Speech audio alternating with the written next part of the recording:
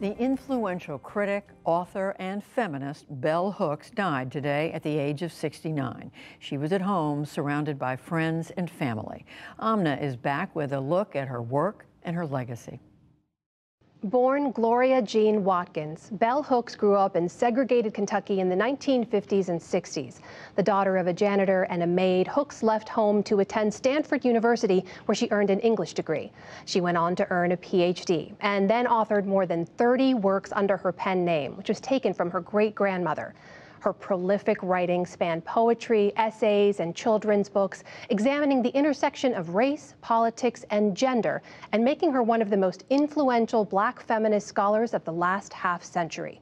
In 2004, Hooks returned to Kentucky to teach at Berea College and later founded the Bell Hooks Institute there. Here to talk more about her life and its impact is Imani Perry. She's the Hughes Rogers Professor of African American Studies at Princeton University. Professor Perry, welcome to the News Hour. Thank you for making the time. Thank you for having me. You reacted to the passing of Bell Hooks on Twitter by sharing this thought. You wrote, For exactly 30 years, she was not only an intellectual influence, but a presence in my life. Professor Perry, tell us about the impact that Bell Hooks had on you. Well, I, I met her when I was 19 years old. I was an intern at South End Press where she published um, much of her work. And she was a teacher to her core, even though I didn't have her in the classroom.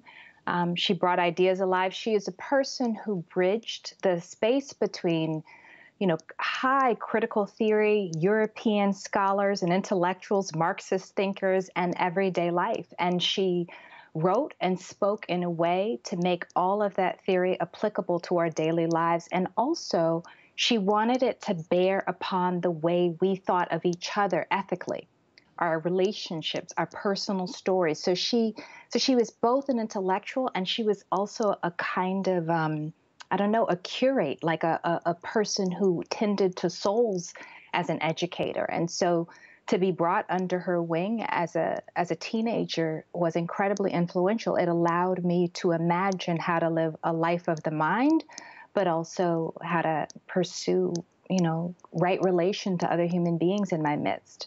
So as we mentioned, she was born Gloria Jean Watkins. She took the pen yeah. name Bell Hooks, which was her great grandmother's name. Uh, what do we know yes. about why she took that name and why all lowercase when she used it? Yeah, I mean, she w- it was consistent with leftist organizers of the era to think of one the individual in the lowercase that one spoke in the collective right? So her name was both an homage to her great grandmother and the women who came before, but also was a kind of humility to choose the lowercase. Um, uh, and you know she was very much i mean she traveled the world she had a massive influence she was a southern country woman to her core um, and and she she'd never lost touch with that you know it was and so there was a kind of intimacy with that identity that she held on to um, through through her her pen name, as it were. But I always called her Gloria. And she mentioned those Southern roots, growing up at the intersection of racism and sexism. Um, she actually spoke about it in this 2016 talk at St. Norbert College in Wisconsin. Take a listen to what she said. I think that many of us as females find sexism is so normalized, whereas people of color, black, brown, whatever, when we hear a racist joke or, or racism spoken not as a joke, we really feel assaulted and our sensibilities. But sexism is such a woven into the fabric of mm. our daily lives that I think it's harder for people to, to resist. Professor Perry, how did that lived experience show up in her work? Well, she, you know, she told a lot of stories from her own life. You know, she in many ways was an open book. She allowed herself to be vulnerable. Um, and she contemplated so the way that she engaged with people, and she was she was outspoken and she could be really challenging, was to open that up, that feel those to explore those questions of internalized sexism, internalized classism. How do we love each other? I mean, those so that kind of exploration um, was, I mean, that was consistent with who she was, and for me, it allowed me to think all of the the sort of academic things I was pursuing, they boiled down at its to the very core about how we are going to live and how we're going to coexist on this planet. Right? Um, that, I mean, that's who she was.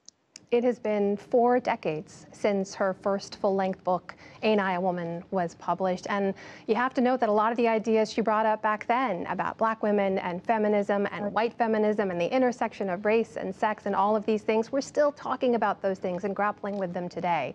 What do you think the oh, legacy of those ideas that she raised four decades ago is today? Well, I, th- I, think her legacy is enormous, and part of you know this incredible body of work that she that she created, the legacy that's found is there's so many young people. The first time they start to think seriously about class, about sexuality, about gender, about identity, about vulnerability, about spirituality is through her work. You know, her work has never gone out of press. That ain't I a woman you can still purchase, right? And so the legacy is actually in all of us who have been influenced by her work, not just in academia, in every sector of the society, in organizing and nonprofit worlds and corporate America. And so, I, I, mean, it really has, she has shaped several generations of thinkers uh, and of, of people who are members of communities. And so I hope that at this moment, it becomes a, a time for us to reflect on how much she helped us think, how much she helped us grow, right? And how she pushed the world closer to justice. An incredible life and an enormous loss. Professor Imani Perry, uh, Hughes Rogers Professor of African American Studies at Princeton University. Thank you so much for joining us. Thank you.